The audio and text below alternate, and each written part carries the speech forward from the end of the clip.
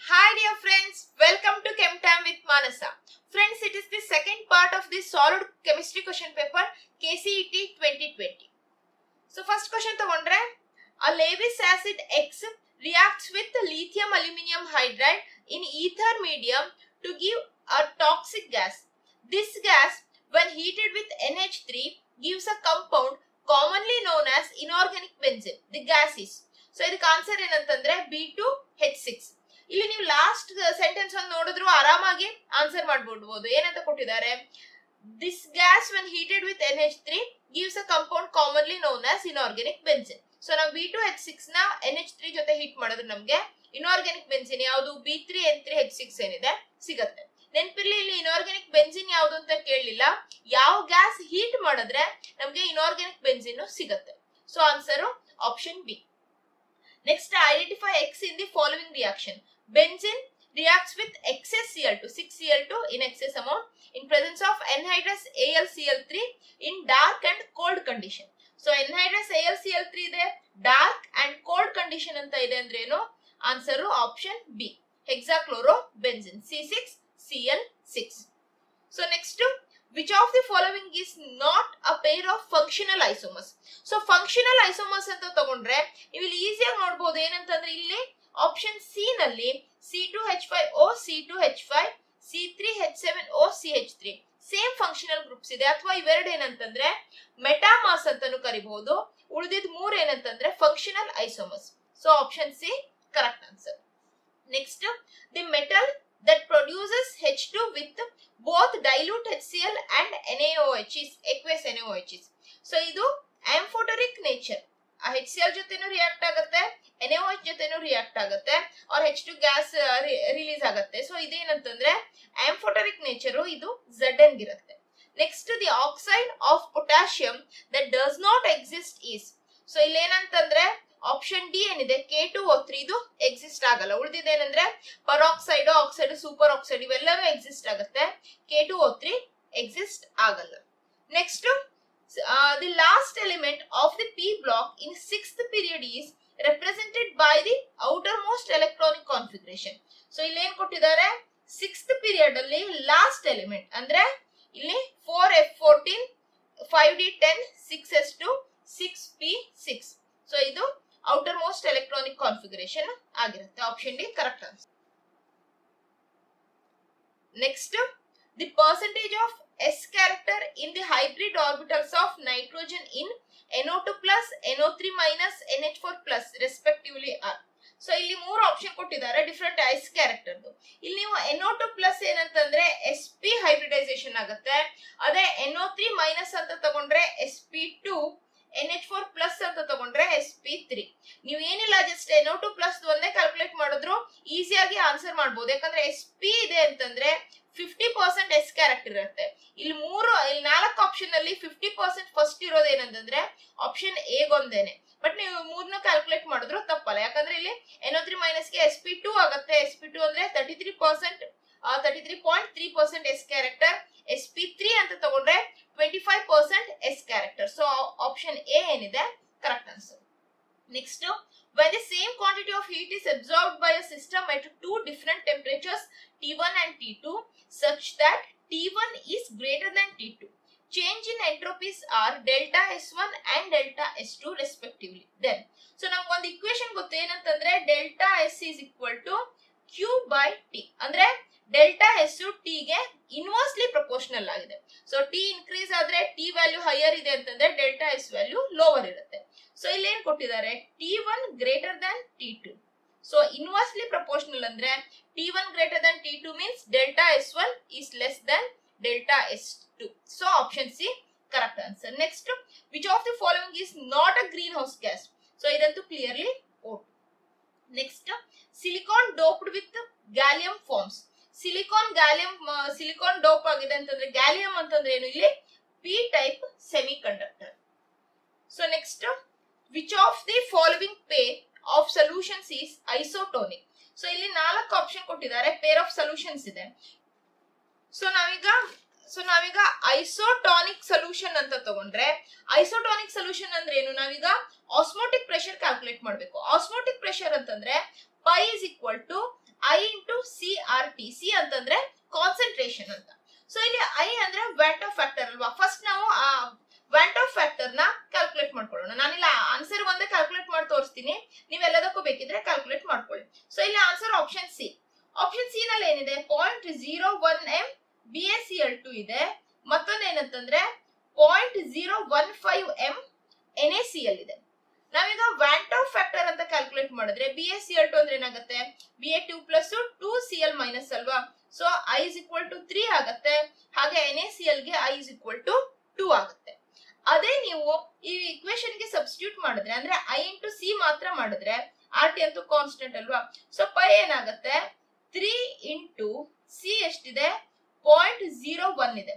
That's equal to point zero three ಆಗುತ್ತೆ.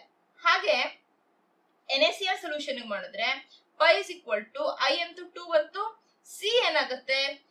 Two into point zero one five so ಈ ವ್ಯಾಲ್ಯೂನೇ ಏನಾಗುತ್ತೆ? Two into point zero one five ಅಂತಂದ್ರೆ point zero three ಆಗುತ್ತೆ. R T R T ಅಂತ ಬರೀಬಹುದು ಹಾ. ಸೊ ಇಲ್ಲೇನಾಗುತ್ತೆ ಅಂತಂದ್ರೆ ಪೈ ಇವೆರಡಕ್ಕೂ ಸೇಮ್ ವ್ಯಾಲ್ಯೂ ಬರುತ್ತೆ.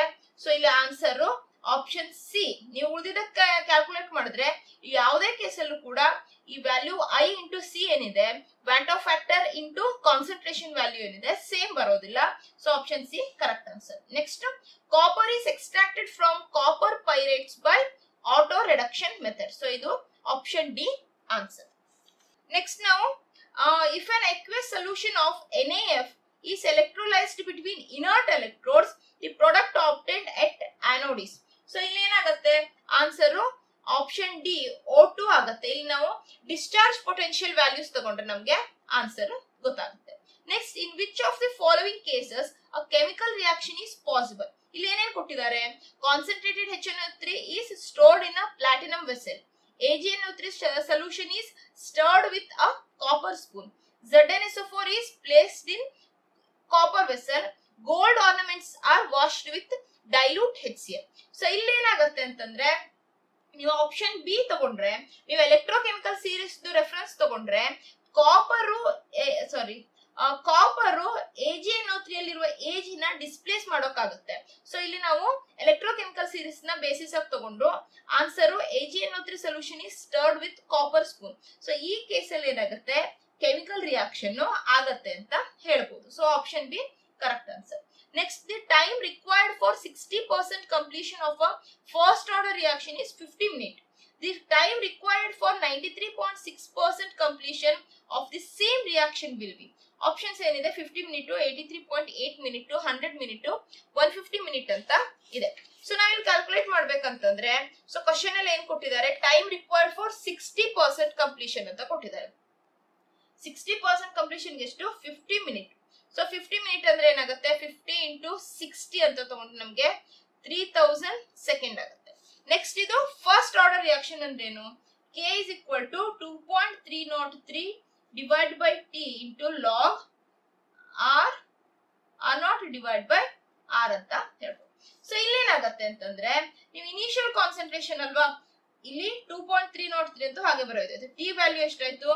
Three thousand second next log R nought ಅಂತಂದ್ರೆ ಹಂಡ್ರೆಡ್ ಆಗುತ್ತೆ. ಇಲ್ಲಿ ಸಿಕ್ಸ್ಟಿ ಪರ್ಸೆಂಟ್ ಅಂತ ಕೊಟ್ಟಿದ್ದಾರೆ. ಕ್ವಶನ್ ಅಲ್ಲಿ ಸಿಕ್ಸ್ಟಿ ಪರ್ಸೆಂಟ್ ಅಂತ ಕೊಟ್ಟಿದಾರಲ್ವಾ ಸೊ ಹಂಡ್ರೆಡ್ ಆಯ್ತು. ಸಿಕ್ಸ್ಟಿ ಪರ್ಸೆಂಟ್ ಆಗಿದೆ ಅಂತಂದ್ರೆ ಆರ್ ವ್ಯಾಲ್ಯೂ ಏನಾಯ್ತು ಅಂತಂದ್ರೆ ಹಂಡ್ರೆಡ್ ಮೈನಸ್ ಹಂಡ್ರೆಡ್ ಮೈನಸ್ ಎಷ್ಟು? ಸಿಕ್ಸ್ಟಿ ಅಥವಾ ಫಾರ್ಟಿ ಅಂತ ಆಯ್ತು. ಸೊ ಇದು two point three nought three divide by three thousand log hundred by forty ಆಗುತ್ತೆ. ನೀವು ಇದನ್ನ ಈ ಕ್ಯಾಲ್ಕುಲೇಟ್ ಮಾಡಿದ್ರೆ ಕೆ ಎಷ್ಟು ಬರುತ್ತೆ? Three point zero into ten to the power minus four unit per second ಆಗುತ್ತೆ. ಸೊ ಈ ವ್ಯಾಲ್ಯೂ ಬಂತು. ಏನು ರೇಟ್ ಕಾನ್ಸ್ಟೆಂಟ್ ವ್ಯಾಲ್ಯೂ ಸಿಕ್ತು. ನೀವೀಗ ನೆಕ್ಸ್ಟ್ ಏನ್ ಮಾಡ್ಬೇಕು? ಕ್ವಶನ್ ಅಲ್ಲಿ ಏನ್ ಕೇಳಿದ್ದಾರೆ ಅಂತಂದ್ರೆ time required for ninety three point six percent completion of the same reaction same reaction rate constant value ಗೊತ್ತಾಯ್ತು? ಈಗ ನಾವು ನೈಂಟಿ ತ್ರೀ ಪಾಯಿಂಟ್ ಸಿಕ್ಸ್ ಪರ್ಸೆಂಟ್ಗೆ ಎಷ್ಟು ಟೈಮ್ ಬೇಕು ಅಂತ ಕ್ಯಾಲ್ಕುಲೇಟ್ ಮಾಡಬೇಕು. ಸೊ ವ್ಯಾಲ್ಯೂ ಏನ್ ಏನ್ ಮಾಡಬಹುದು ಈಗ? ನಮ್ಮ ಹತ್ರ ಕೆ ವ್ಯಾಲ್ಯೂ ಇದೆ. So K is equal to two point three nought three divide by T ಈಗ ಟಿ ಅನ್ನೋನು. ಇಂಟು ಲಾಗ್ ಇನಿಷಿಯಲ್ ಕಾನ್ಸಂಟ್ರೇಷನ್ ಅಂತೂ ಹಂಡ್ರೆಡ್ ಆಯ್ತು. ಇಲ್ಲಿ hundred minus ninety three point six ಅಂತ ಸಬ್ಸ್ಟಿಟ್ಯೂಟ್ ಮಾಡ್ಬೇಕು. ಇಲ್ಲಿ ಕೊಟ್ಟಿದಾರಲ್ವಾ? Ninety three point six percent ಅಂತ. So ನೀವು ಇಲ್ಲಿ T is equal to two point three nought three divide by K value ಎಷ್ಟಾಯ್ತು? Three point zero into ten to the power minus four log hundred divide by six point four ಅಂತ ಮಾಡಿದ್ರೆ ನಿಮ್ಗೆ ಎಷ್ಟು ಬರುತ್ತೆ? Around nine thousand one hundred ಅಷ್ಟು ಬರುತ್ತೆ. T is equal to nine thousand one hundred seconds ಬರುತ್ತೆ. Divide by sixty ಅಂತ ಮಾಡಿದ್ರೆ ನಿಮ್ಗೆ ಒನ್ ಫಿಫ್ಟಿ ಮಿನಿಟ್ಸ್ ಬರುತ್ತೆ. ಸೊ ಆನ್ಸರ್ ಎಷ್ಟಾಯ್ತು? One fifty minute next for an elementary reaction 2a B 3b four 4c plus d. The rate of appearance of c at a time t is 2.8 into 10 to the power of minus 3 moles liters per second. Rate of disappearance of b at a time t will be. So ನಮ್ಗೆ ಇದೇನಂತಂದ್ರೆ simply ನೀವು rate equation ಬರೆದ್ರು calculate ಮಾಡಬಹುದು ಈ reaction ಏನಿದೆ two A plus three B gives four C plus D so ಇದಕ್ಕೆ ನಾವು ಈಗ rate of appearance of C ಅಂತ ಬರೆದ್ರೆ ಕ್ವಶನ್ ಅಲ್ಲಿ ಏನ್ ಕೊಟ್ಟಿದ್ದಾರೆ? Rate of appearance of C at a time T ಇದೆ. So rate of appearance of C ಅಂತ ತಗೊಂಡ್ರೆ D concentration of C divide by D T D concentration of C by D T so ಇಲ್ಲಿ four ಅಂತ ಇದೆ. Stoichiometric ratio four ಅಂತಂದ್ರೆ one by four ಮಾಡಬೇಕು. So it is equal to two point eight into ten to the power of minus three mole per litre per second so next ನಾವಿಲ್ಲಿ ಇಲ್ಲಿ ಏನ್ ಮಾಡ್ಬೋದು ಅಂತಂದ್ರೆ ಸಿಂಪ್ಲಿ ನೀವು ರೇಟ್ ಇಕ್ವೇಶನ್ ಬರೋದ್ರೆ ಇಲ್ಲಿ ನಮ್ಗೆ rate of disappearance of B ಕೇಳಿದಾರಲ್ವಾ? Rate of disappearance of D ಏನಾಗುತ್ತೆ? Concentration of B by D T rate of disappearance ಅಂತಂದ್ರೆ ನಾವು ಮೈನಸ್ ಬರಿಬೇಕು, ಹಾಗೆ ಸ್ಟ್ರೈಕ್ಯೋಮೆಟ್ರಿಕ್ ಕೋಎಫಿಷಿಯಂಟ್ ತಗೊಂಡ್ರೆ ಒನ್ ಬೈ ತ್ರೀ ಅಂತ ಆಗುತ್ತೆ. Is equal to rate of disappearance of C ಆಗಿರುತ್ತಲ್ವಾ? So D by sorry D C by D T ಆಗುತ್ತೆ. So ನಿಮ್ಗೆ D C by D T value ಏನಂತಂದ್ರೆ two point eight into ten to the power of minus three moles per moles per litre per second ಅಂತ ಗೊತ್ತಿದೆ. ಈ ತ್ರೀನ ನೀವು ಈ ಕಡೆ shift ಮಾಡಿದ್ರೆ ಏನಾಗುತ್ತೆ?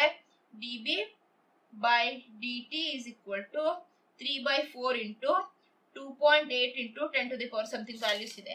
ಅಂಡ್ ಇಲ್ಲೇನಾಗುತ್ತೆ ನಮಗೆ ಆನ್ಸರ್ ತ್ರೀ ಬೈ ಫೋರ್ ಅನ್ನೋದು ಗೊತ್ತಾಗುತ್ತೆ. ಸೊ, ಇಲ್ಲಿ ಆಪ್ಷನ್ ಬಿ ಏನಾಗುತ್ತೆ? ಕರೆಕ್ಟ್ ಆನ್ಸರ್ ಅಂತ ನಮಗೆ ಗೊತ್ತಾಗುತ್ತೆ. Next seventeen question during absorption of a gas on a solid ಇಲ್ಲೇನಾಗುತ್ತೆ? Absorption of a gas on a solid ಅಂತ ತಗೊಂಡ್ರೆ, ಇಲ್ಲಿ ಡೆಲ್ಟಾ ಜಿನು ಲೆಸ್ ದೆನ್ ಝೀರೋ ಇರಬೇಕು ಡೆಲ್ಟಾ ಹೆಚ್ಚು ಲೆಸ್ ದೆನ್ ಝೀರೋ ಇರಬೇಕು and delta S less than zero ಇರಬೇಕು. So option C ಏನಾಗುತ್ತೆ? Correct ಅನ್ಸುತ್ತೆ. Delta G delta H delta S ಇವು ಮೂರು ವ್ಯಾಲ್ಯೂ ಲೆಸ್ ದನ್ ಝೀರೋ ಇದ್ರೆ absorption of a gas on a solid during that reaction ಆಗಿರುತ್ತೆ. Next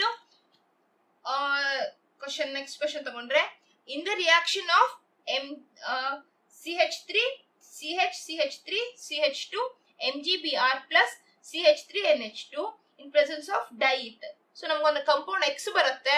ಇಲ್ಲಿ compound X ಯಾವುದು ಅಂತ ಕೇಳಲಿಲ್ಲ the number of possible isomers for the organic compound X so ಇಲ್ಲಿ reaction ಏನಿದೆ? ರಿಯಾಕ್ಷನ್ ಇರೋದು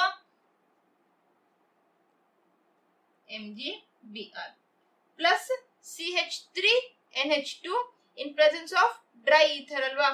ಡ್ರೈ ಈಥರ್ ಸೊ ಇಲ್ಲಿ ಏನಾಗುತ್ತೆ ಅಂತಂದ್ರೆ ಕಂಪೌಂಡ್ ಎಕ್ಸ್ ಯಾವ್ದು ಬರುತ್ತೆ ಅಂತ ನಾವು ಫಸ್ಟ್ ನೋಡೋಣ.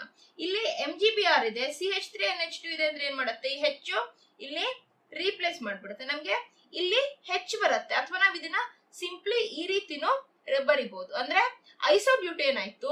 ಈ ಐಸೋಬ್ಯೂಟೇನ್ ಇನ್ನೊಂದು ಪಾಸಿಬಲ್ ಐಸೋಮರ್ ಅಂದ್ರೆ ಇದು. ಇಲ್ಲಿ ಹೆಚ್ಚಿದೆ, ಇದು ಬರಿಬೇಕಂತ ಇಲ್ಲ. ನಾನು ಇಲ್ಲಿ ರೀಪ್ಲೇಸ್ ಆಗಿದ್ ಗೊತ್ತಾಗ್ಲಿ ಅಂತ ಇಲ್ಲೊಂದು ಹೆಚ್ಚು ಅಂತ ಬರ್ತಿದ್ದೀನಿ ಬಟ್ ನೀವು ಸಿಂಪಲ್ ಬಾಂಡ್ಲೈನ್ ಫಾರ್ಮುಲಾ ತಗೊಂಡ್ರೆ ಇಷ್ಟು ಬರೆದ್ರೆ ಸಾಕು. ಸೊ ಐಸೋಬ್ಯೂಟೇನು ಎನ್ ಬ್ಯೂಟೇನ್ ಏನಿದೆ? ಅಥವಾ ಅನ್ಬ್ರಾಂಚ್ಡ್ ಚೈನ್ ಬ್ಯೂಟೇನ್ ಏನಿದೆ? ಇವೆರಡು ಪಾಸಿಬಲ್ ಐಸೋಮರ್ಸ್ ಸೊ ಆಪ್ಷನ್ ಏನಾಗುತ್ತೆ? Correct answer option D next ಏನಂತಂದ್ರೆ ಇಲ್ಲೊಂದು ಸಿಂಪಲ್ ಕ್ರಾಸ್ ಅರ್ಡೋಲ್ ರಿಯಾಕ್ಷನ್ ಇದೆ, ಏನೇನು? ಸೊ ಇಲ್ಲಿ ಬೆನ್ಸಾಲ್ಡಿಹೈಡ್ ಇದೆ C H three C H ಜೊತೆ ರಿಯಾಕ್ಟ್ ಆದಾಗ ಡೈಲ್ಯೂಟ್ ಎನ್ ಎಚ್ ಮತ್ತೆ ಹೀಟೆಡ್ ಅಂತ ಕೊಟ್ಟಿದ್ದಾರೆ. ಪ್ರಾಡಕ್ಟ್ ಪಿ ಯಾವುದು ಅಂತ ಕೇಳಿದ್ದಾರೆ. ಸೊ ಇದು ಸಿಂಪಲ್ ಕ್ರಾಸ್ ಅರ್ಡೋಲ್ ರಿಯಾಕ್ಷನ್ ಆಗಿರೋದ್ರಿಂದ ಆನ್ಸರ್ ಆಪ್ಷನ್ ಎ ಇಲ್ಲಿ C H double bond C H C H O ಬರುತ್ತೆ. ನೆಕ್ಸ್ಟ್ ರಿಯಾಕ್ಷನ್ ಇಲ್ಲಿ C six H five N two ಇದೆ. First B R two and F E B R three ಜೊತೆ react ಆದಾಗ P ಬರುತ್ತೆ. P ನ ನಾವು reduce ಮಾಡಿದ್ರೆ S N in presence of concentrated H C L use ಮಾಡಿದ್ರೆ Q ಬರುತ್ತೆ. Q ನ N A two two seventy three K kelvins ಅಲ್ಲಿ ಡೈಲ್ಯೂಟ್ ಹೆಚ್ ಸಿ ಎಲ್ ಅಲ್ಲಿ ನೆಕ್ಸ್ಟ್ ವಾಟರ್ ಜೊತೆ ವಾರ್ಮ್ ಮಾಡಿದಾಗ ಆರ್ ಬರುತ್ತೆ. ಇಲ್ಲಿ ಫೈನಲ್ ಪ್ರಾಡಕ್ಟ್ ಆರ್ ಯಾವುದು ಅಂತ ಕೇಳಿದ್ದಾರೆ ಸೊ ನಾ ಈಗ ರಿಯಾಕ್ಷನ್ ತಗೊಂಡ್ರೆ, ಇಲ್ಲೇನಾದಾಗಿದೆ ಈ ರಿಯಾಕ್ಷನ್ ಅಲ್ಲಿ? ಫಸ್ಟ್ ಕಂಪೌಂಡ್ ಇರೋದು ಏನಂತಂದ್ರೆ ನಮ್ಗೆ ಇಲ್ಲಿ ಎನ್ ಟು ನೈಟ್ರೋಬೆನ್ಸಿನ್ ಇದೆ. ಈ ನೈಟ್ರೋಬೆನ್ಸಿನ್ ಏನ್ ಮಾಡಿದ್ದಾರೆ? First B R two in F E B R three ಅಲ್ವಾ? ಬಿ ಆರ್ ಟು ಜೊತೆ F E B R three in presence of F E B R three react ಆದ್ರೆ ನಮ್ಗೆ ಏನಾಗುತ್ತೆ? ಈ ಕಂಪೌಂಡ್ ಅಲ್ಲಿ ಎನ್ಒ ಟು ಗ್ರೂಪ್ ಹಾಗೆ ಇರುತ್ತೆ. Meta position ಅಲ್ಲಿ ಬಿ ಆರ್ ಇಂಟ್ರೊಡ್ಯೂಸ್ ಆಗುತ್ತೆ. ನೆಕ್ಸ್ಟ್ ಇದನ್ನ S N in concentrated H C L ಜೊತೆ ರಿಯಾಕ್ಟ್ ಆದ್ರೆ ಅದೇನ್ ಮಾಡುತ್ತೆ? ಈ ಎನ್ಒ ಟು ಗ್ರೂಪ್ನ ಎನ್ ಹೆಚ್ ಟು ಗ್ರೂಪ್ ಆಗಿ ಕನ್ವರ್ಟ್ ಮಾಡುತ್ತೆ. ಇದು ಬಿ ಆರ್ ಹಾಗೆ ಇರುತ್ತೆ. ಎನ್ ಹೆಚ್ ಟು ಗ್ರೂಪ್ ಆಗುತ್ತೆ. N H two group next ಇದು ಪಿ ಇದು ಕ್ಯೂ ಆಯ್ತು. ಈ ಕ್ಯೂ ನ ಏನ್ ಮಾಡಿದ್ದಾರೆ? ಎನ್ ಎನ್ ಟು ಅಂದ್ರೆ nitrous acid next two seventy three kelvin low temperature ಅಲ್ಲಿ ಡೈಲ್ಯೂಟ್ ಹೆಚ್ ಸಿ ಎಲ್ ಅಂದ್ರೆ ಅಲ್ಲೇನಾಯ್ತು? H C L okay N N two ಮತ್ತೆ ಹೆಚ್ ಸಿ ಎಲ್ ಇದೆ ಅಂತಂದ್ರೆ in situ preparation of nitrous acid ಆಯ್ತು. H N O two prepare ಆಗುತ್ತೆ. ಅಥವಾ ಇಲ್ಲಿ simple ಅದು ಡೈ ಅಸೋಟೈಸೇಷನ್ ರಿಯಾಕ್ಷನ್ ಆಗುತ್ತೆ. ಅಂದ್ರೆ ನಮಗ್ ಬರೋ ಕಂಪೌಂಡ್ ಯಾವುದು? N two plus C L minus ಸಿಗುತ್ತೆ. ಇಲ್ಲಿ ಬಿ ಆರ್ ಹಾಗೆ ಇರುತ್ತೆ. ನೆಕ್ಸ್ಟ್ ಏನ್ ಮಾಡಿದ್ದಾರೆ. ನಾನು ಇಲ್ಲೊಂದು ಇನ್ನೊಂದು ಸ್ಟೆಪ್ಪೇ ಬರ್ದಿದ್ದೀನಿ. ಇಲ್ಲಿ ಸಿಂಪಲ್ ಆಗಿ ಒಂದೇ ಇಲ್ಲಿ ಸೆಕೆಂಡ್ ರಿಯಾಕ್ಷನ್ ಅಂತ ಕೊಟ್ಟಿದ್ದಾರೆ. ಏನು ವಾಟರ್ ಅಲ್ಲಿ ಸೊ ವಾಮ್ ಮಾಡಿದ್ದಾರೆ ಅಂತ. ಅಂದ್ರೆ ಹೈಡ್ರೋಲಿಸಿಸ್ ಮಾಡಿದ್ದಾರೆ ಅಂತ.